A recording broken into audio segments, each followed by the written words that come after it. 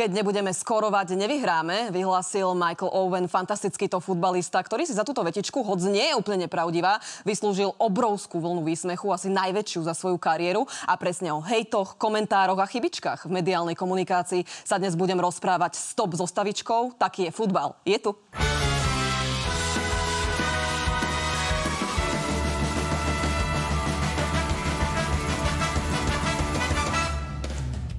V našom tuneli sú už pripravení hostia a nastupujú do štúdia. Vítam Petra Expla Altofa. Uhuhu. Prichádza, už je rozcvičený. Fantastické. Ahoj, čau. Vítaj. Čau. V tesnom závese za ním pribieha rovnako rozcvičený Roman Maximilian Kolár. Vítajú nás talk show Taký je futbal, toto je tvoja stolička a prichádza aj Joško Petko, ktorý je bookmaker zo spoločnosti Nike, bude nám predstavovať rôzne typy a stávky, ktoré nás dnes čakajú. Ahojte páni, usadte sa, vitajte. Nehovorila som na schvál vaše funkcie, pretože je to naozaj dlhý zoznam. Začneme tebou Explo, influencer, vloger, moderátor, poet, majster v challengeoch. Niečo som vynechala? Veľa vecí. Sex symbol napríklad. Á, dobre, môže byť, prihadzujeme. Roman, ty si model, futbalista, herec, sedivec. To si trafila presne. Ale veľmi je o vás známe aj to, že ste fanúšikovia futbalu a rovnako ste aj hráči. Takže mi prosím povedzte, kedy vznikla vášeň práve pre tento šport vo vašich životoch? Peťko, začni ty, lebo ty to budeš mať kratšie. Vieš čo, od malička som hrával futbal a, a vlastne drží ma to až doteraz, že tak nejak ma to sprevádza životom a zlepšuje to moje dni. Romčo? Fú, no, ja sa to rozhodpávam troška. Akože ja som začal 12 v Slovane. O, vlastne tam som vyrastal do 18, potom sa presunul do Dunajskej, kde som sa vlastne dostal do ligového kádra. A teraz som v Rakúsku. Hm, Rozoberieme si to na drobné, ale povedz mi ešte najprv Explo. Aké boli myšlienky a sny malého Peťka? Ty si začínal v Prievidzi. Chcel si byť profesionálnym futbalistom? Nemal som takú ambíciu, jak malý. Ja som tak bol malomestský prievický futbalista, ktorý si spríjemňoval dni futbalom. Ja som to vlastne uh, až tak nejak nečakal, že, že z toho môže niekedy niečo byť. Potom ma to neskôr aj mrzelo, že ty prde, že to keby som vedel, že, že, že všetko sa dá tak to by som možno aj hral futbal, pretože mňa to naozaj bavilo a potom, keď sa k tomu postupne človek začne vracať, tak, uh, tak zistí, že ty vole, že toto som mohol robiť. No, takže... Aký si futbalista? Á, d- útočný by som povedal. A tvoje nejaké silné a slabé stránky? Vedel by si sa ohodnotiť? Vieš, ja som, ja som uh, mal podľa mňa dobrú techniku a vedel som, vedel som tam akože útočiť po krídlach a, a pekne prihrávať, čiže skôr taký akože dynamicky, rýchly uh, krídelník. A teraz hrávaš v 6. lige, ak sa nemilím. Za koho? FK Kozmos. FK Kozmos. Predpokladám, že aj Roman sa za tebou chystá, tak som počula, ja, taký ja je tam šum. verbujem, lebo hľadáme nových hráčov a to je najlepší tým v Bratislave, takže ja furt mu hovorím, že musíš hrávať s nami, na- my potrebujeme kanoniera. Roman, ty si aký hráč? Ako by si sa charakterizoval? No, ja by som sa charakterizoval ako dravý, Pomalý. silný, rýchly, rýchly útočník a veľmi gólový. Gólový typ. To je vítané, myslím si, že v klube to privítajú. A ako si sa ty dostal explo od tohto futbalového sna? Malý Peťko, futbalista na trávniku a zrazu si youtuber, vloger, influencer. Vieš čo, mňa vždycky bavilo ako keby tvoriť veci a tak nejak popri futbale, ktorý bol môj taký hlavný koníček, som si začal a, natáčať videjka na, a, a zdieľal som ich na internetoch a to bolo nejak neviem, 14-15 rokov a, a postupne to prerastlo až do tohto. Ten futbal išiel tak stranou a ja som začal vlastne robiť toto a teraz sa tak nejak pekne spája aj vďaka tomuto euru, aj vďaka vlastne Markíze, takže strašne pekné prepojenie sa mi z toho podarilo spraviť. Keď sme pri videách, zahral si si aj celebrity futbal. Máme pripravené aj zábery. Povedz nám prosím, čo to bolo za zápas, ako dopadol. To bol podľa mňa najlepší deň môjho života. Ja doteraz na to spomínam ako na najlepší deň môjho života. To som si splnil všetky sny a mal som ich akože pár takýchto futbalových. Zahral som si aj v takej futbalovej reklame, kde som robil šúchačku po betóne, vykopával som loptu, to bolo perfektné. Po kolenách? Akože bolo to tam také, že naleštené, vieš, ale vyzeralo to strašne drsne. No a toto, a to sme hrali proti a, Českej republike vlastne. A, stretli sme sa tam tiež takto influenceri, youtuberi a všetci ľudia, ktorí mali niečo spoločné s futbalom. Dokonca brankárka českého týmu je Bára Votíková, ktorá hrá teraz za Tottenham, predtým za PSG, takže úplne že šikovná baba, ktorá sa živí futbalom. No a my sme sa tam takto vlastne dostali s chalanmi a nastupovali sme, vieš, pri zvukoch uh, vlastne z Ligy majstrov, hrala tam Mhm. slovenská hymna, dokonca to skončilo 5-5 a museli sme kopať penalty, čiže to malo všetko, naozaj všetko. A na konci som dostal cenu za najlepšieho hráča, čiže som si splnil taký pomyselný detský sen a mohol som ísť spokojne domov. Blahoželám. Keď si pri tých zvukoch z tribún, ty si si to Roman zažil na vlastnej koži, pretože si hral v tom ligovom kádri v DAC Dunajská streda, keď si mal 19 rokov. Tam predpokladám, ten klubizmus je rozbehnutý na plné pecky. Aké to je e, za hĺku tribún hrať? Tak uh, akože ten vlastne v tom zápase, v tom momente si to neuvedomíš, ani akože to neriešiš, lebo sústredíš sa iba na ten zápas. Ale no hovorím, ja som to nejako nevnímal, ja som vždycky bol sústredený na ten zápas, ale Jak hovorí, že akože hrával som, tak skôr som zbieral tie ligové lavičky ako tie ligové štarty, ale akože tie zápasy počas tých príprav a takto som si zažil, čiže aj tam bolo dosť fanúškov, čiže Máte pani aj nejaké rituály pred zápasom alebo talizmany? Ja úplne sa priznám, nemám. Ja sa potrebujem večer, akože deň pred zápasom dobre najesť a dobre sa vyspať, čiže iba toto. Klasika. Ja si tiež, ja mám spánok, že taký môj rituál pred všetkým dôležitým, takže snažím sa dobre spať, spokojne vstať a potom akože asi, asi, asi len si to užiť. Podarilo sa vám aj to, čo sa mnohým za celý život nepodarí, a to zahrať si futbal s Marekom Hamšikom. Popíšte nám, aký to bol zážitok. Akože bolo to super, bol tam aj uh, Stanko Lobotka, aj Marek Hamšík a mm. obidvaja akože veľký zážitok si s nimi zakopať. Uh, párkrát som skúšal toho Stanka aj obísť a vlastne všetci sme to skúšali. sa. A musím povedať, že mali sme veľmi uh, kvalitného hráča v kádri a vlastne on to ukazoval na tom eure, že na ňo sa dalo spolahnúť, on tam každý raz hviezdil. No a Marek Hamšík to bol proste uh, fakt sympatiak, že sme si zakopali, zažonglovali, bolo to perfektné, akože obidvaja uh, super ľudia, super hráči. Romčo prikyvuje. No mňa to veľmi prekvapilo, lebo ja som myslel, že ak my tam prídeme, oni budú takí, že á, zase nás idú otravovať s videjkami, s blbosťami, ale akože veľmi milí boli a veľmi akože taký pohode s tým celým, že neboli na nás takí nejakí odporní alebo niečo, čo, čo mňa veľmi milo prekvapilo. Boli ľudskí a kamarádsky. Rovnako taký je aj náš Joško Petko zo spoločnosti Nike. Prosím, povedz nám, aké zápasy nás dnes čakajú. Dnes nás nečakajú žiadne zápasy, keďže Aha, máme voľný hrací deň. Áno. Ale tak vybrali sme v podstate také hodnotenie ešte tých predchádzajúcich zápasov, že kde bolo najvyššie percento úspešnosti typérov. A to bolo v zápase Belgicko-Rumunsko, kedy až 94% typérov Slovákov verilo vo výhru Belgicka. A zároveň sme vybrali aj, kde bolo také najväčšie prekvapenie, a to v zápase Anglicko-Slovinsko, kde sa to skončilo bez gólov remizou 0-0. Anglicku vtedy verilo až 97% typérov. Takže typovať a stavkovať sa dá stále. Samozrejme mnohé ženy, frajerky, manželky sa potešili, možno budú mať dnes chlapov iba pre seba, ale máš špeciálnu stavku aj pre našich hostí. Páni, Áno, budete sa nás- vyjadrovať. Čaká nás štvrťfinále už v piatok. A to je asi také predčasné finále podľa odborníkov, a to Španielsko, Nemecko. A ja som si vybral stávku, že či oba týmy v tom zápase dajú gól podľa vás. Len podotknem ešte, Španieli, Nemci sú suverene, akože čo sa týka počtu gólov, najlepší na turnaji. Zároveň majú najviac striel spomedzi všetkých účastníkov a takisto aj najviac rohových kopov. Roman, ty si sa zhlboka nadýchol. Máš aj odpoveď? Tak uh, podľa mňa, keď už stavkujeme, tak podľa mňa akože oba týmy dajú góly, ale bude to veľmi náročné, lebo však akože obidva majú výbornú obranu a budú sa, akože Španieli podľa mňa hrajú viac taký ofenzívnejší futbal ako Nemci, čiže preto som taký na vážkach, že či fakt oba týmy dajú, dajú góly, ale tak mali by, no. Aby ten futbal bol zaujímavý, tak by mali. Ja, ja mám chuť predať doma, hodiť to tam všetko. Za mňa to je úplná tutovka. Oba týmy dajú gol, ja nepotrebujem viac počuť. Prosím, urob to. Som zvedavá, ako to dopadne. Budem ti samozrejme držať palce, aby sa šťastie priklonilo na tvoju stranu, ale veľmi dobre vieme aj, že ste boli na Eure, tí, ktorí sledujeme vaše sociálne siete. Aspoň prostredníctvom vás sme mali možnosť sa tam ocitnúť, tí, ktorí nemali tú šancu. Aká bola atmosféra? Dajte nejaký najautentickejší zážitok z Eura.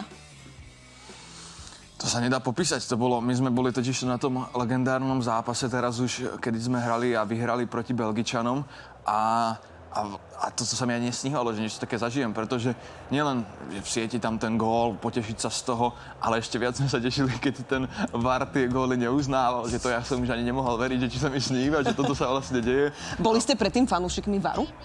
Ako Akože- sme ho začali ako keby takýmto spôsobom využívať? Ja ako fanúšik Realu Madrid aj celkom hej. že viackrát nám to podľa mňa pomohlo.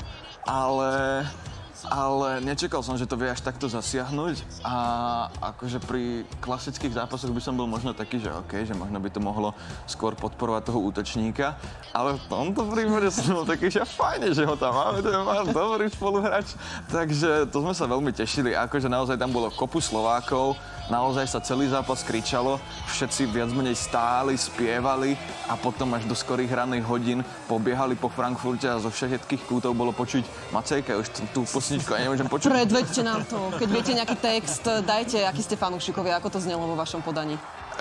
Roman Pripravte sa spieval. uh, od zvuku ideš. a idete. A ideme spolu. Spolu. Ideme spolu. 3, ideme spolu.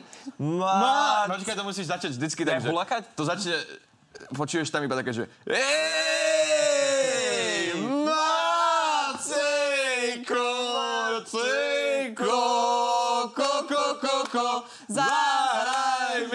One, two, go, go, go, go. Dobre, dobre, dobre. Zatlieskam vám, páni, zaslúžite si to, že ste sa odviazali aj v našom štúdiu. Predpokladám, že na tom štadióne to bolo ešte o 300% viac.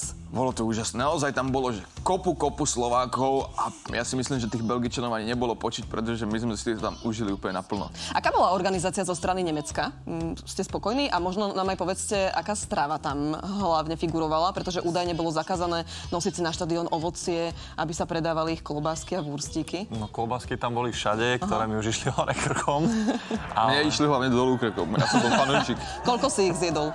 Akože zo pár ich bolo, lebo to tam nejak, že po celom Nemecku vlastne všade predávajú a ja neviem povedať nie, klobásky. Ale ja ti úplne rozumiem.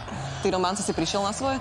No ja som si tiež prišiel na tú klobásku, preto hovorím, že mi išla hore krkom, ale tak Peťko má väčší apetít a viac sa do toho zmestilo. Uh, Joško, neviem, či ty si bol v Nemecku. Ja som bol, bol si tiež však? na tom zápase Belgicko a ešte k tomu varu, keď sa vrátim, tak tam sme prežívali tú radosť viackrát. Hej, lebo keď sme dali ten gól, potom keď sme dostali, tak bol taký smútok a potom zase, keď nám to v podstate, alebo ten VAR zrušil ten gól, tak tá radosť tam bola obrovská. A to naozaj horská drahá emócií. Tak, Ale tak, poďme teraz od radosti k smútku, pretože v zápase Slovinsko-Portugalsko, síce Portugalsko vyhralo na penalty, sa Cristianovi Ronaldovi nepodarilo streliť penaltu, brankáriu zneškodnil a rozplakal sa. Využila toho stanica BBC, ktorá e, z toho spravila za mňa vtipný príspevok, pretože Ronalda nazvali Mistiano Penaldo. Neviem, či ste to zachytili. Ja som to videl. A máte na to aj nejaký názor? Pobavilo? Akože podľa mňa je to smiešné. A ja, akože ja som fandil vždycky Realu, mal som rada aj Ronalda, ale akože keď niekto takto trefne vie uh, si spraviť srandu z niečoho, akože mrzelo ma len to, že jeho to mrzelo. Že keby on to bral Plakal. trošku viac športovo, uh, tak aj tá sranda sa z toho robí ľahšie. Tým, že on tam plakal, že jeho mamka tam plakala, tak to bolo také srdcervúce a ja by som mu akože doprial tam zahviezdiť ešte na tomto eure, ktoré sám povedal, že je jeho posledné. Takže ja mu želám, aby sa mu tam darilo, ale akože uh, spraviť si občas srandu, však keď, keď sa darí, tak všetci ho ospevujeme, keď sa nedarí, tak si môžeme podľa mňa spraviť srandu. Hm. Rovnako tak uh, hejt vedia šíriť aj médiá. Samozrejme, predpokladám, že je to myslené skôr sarkasticky, ale poďme sa porozprávať o prešlapoch v mediálnej komunikácii. Prichádza téma, ktorá je v centre nášho záujmu.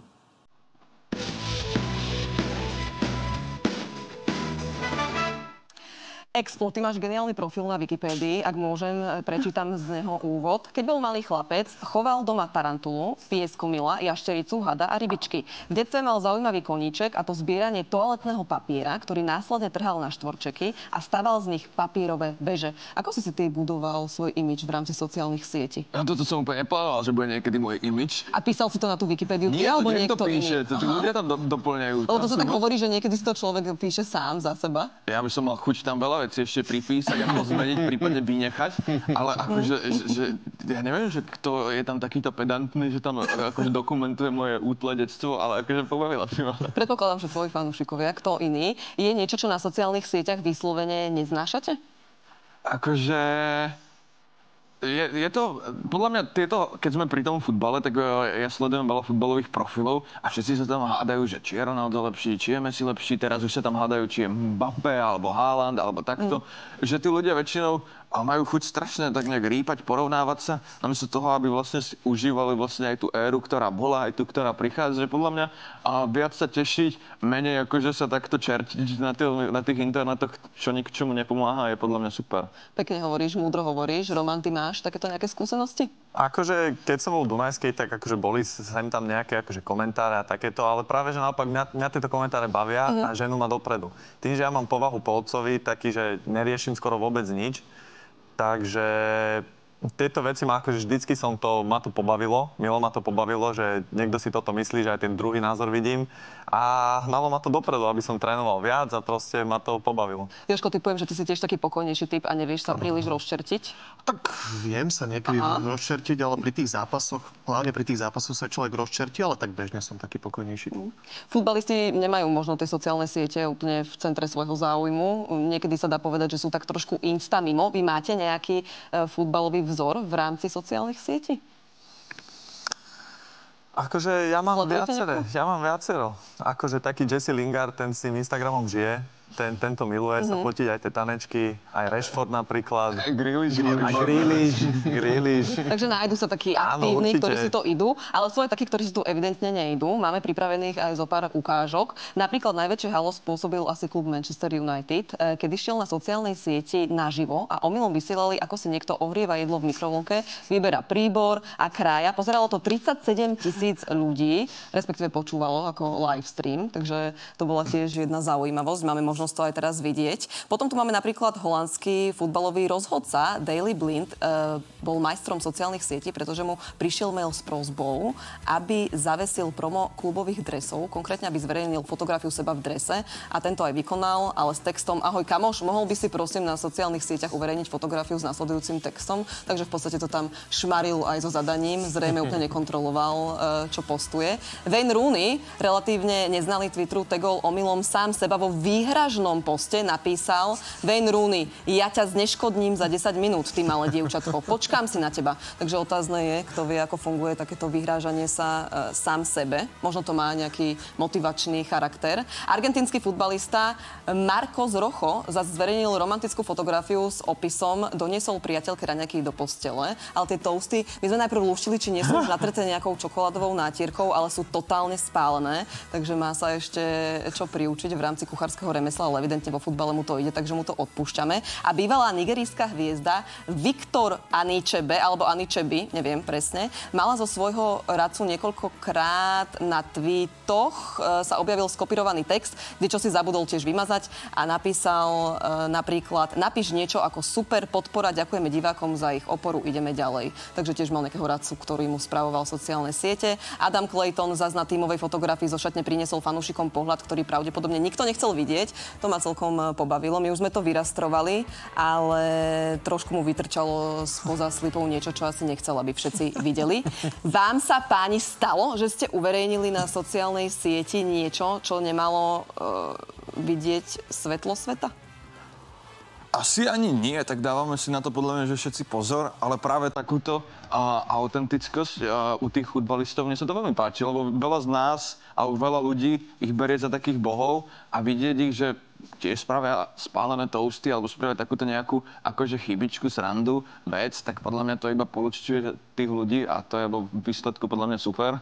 A mm. tak nejak ich približuje nám, ľuďom, ktorí možno ašpirujú, že budú raz takí futbalisti. Takže to sa mi páči, akurát akože dávame si pozor na to, aby sme to neprekročili. Ale keď si niekedy človek dáva pozor, príde k prešlapu, Romante by sa niečo udialo? Akože ja by som ti veľmi rád dal nejakú vtipnú príhodu alebo niečo sa stalo, ale ešte sa ti to iba stane. Nestalo sa mi. Mne sa stalo, že som kamarátkam nahrávala v rámci sociálnej siete, siete správy a videá, ale e, nechťať som to postovala ako Instastorku. To nebolo úplne OK, ale rýchlo som to vymazala. Ale poďme teda aj na túto odvratenú stranu sociálnych sietí. To sú hejty, rôzne komentáre. Dokonca aj teraz e, UEFA mala kampaň proti kyberšikania a nenávisti na sociálnych sieťach. Tvrdia, že sociálne siete ničia lásku k futbalu. Máte na to podobný názor? Akože ja určite mám na to podobný názor, lebo tak o, tam na tých sociálnych sieťach ľudia si myslia, že keby neberú zodpovednosť za to, čo povedia. A vlastne sú krytí tým, že akože svojou kyberidentitou, alebo jak by som to nazval, a že proste si môžu dovoliť povedať, čo len chcú akože na tom internete. Že je to úplne iné, keby to povedali do očí tomu človeku, ale na tom internete je to za nich asi pohode. Vy ste už sami naznačili a povedali, že ste nad vecou, teda sa tak akože snažíte byť, ale stalo sa aj niekedy, že vás komentár ranil, alebo ste ho riešili niekoľko dní vo svojej hlave? Akože niekoľko dní asi nie, ale niektoré veci samozrejme zamrzia. Uh-huh. A ale tak človek dostáva vlastne dávku pekných vecí, dostane občas niečo nepekné, no treba to zobrať, jak to je. Bol aj taký obrázok, že milión pekných komentárov a zrazu jeden škaredý a vie to človeka zrujnovať. Máte aj nejakú radu pre tých, ktorí sú možno na sociálnej sieti nováčikovia, alebo im práve niekto píše hejterské komentáre a nevedia sa s tým úplne vyrovnať? Je nejaká pomôcka za vás? Nech to neberú len tak vážne, mm. že vlastne naozaj o nič nejde v výsledku. Za mňa iba sústrediť sa na ten život, vlastne na tú prácu, ktorú robíme a proste tým človek na to zabudne aj počas toho, jak to robí a nebude to vlastne riešiť tieto komenty. No, ale aby sme trošku povzbudili hejterov, čaká nás challenge.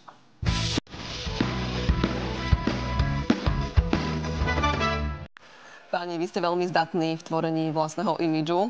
Vidíme to aj teraz. Za 3 sekundy si sa zmenila. Hodí sa to? od začiatku? Áno, áno.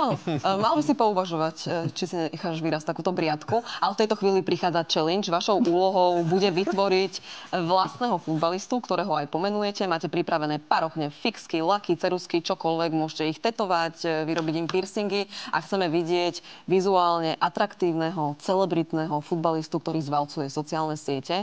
3, 2, 1 jeden teraz, môžete začať.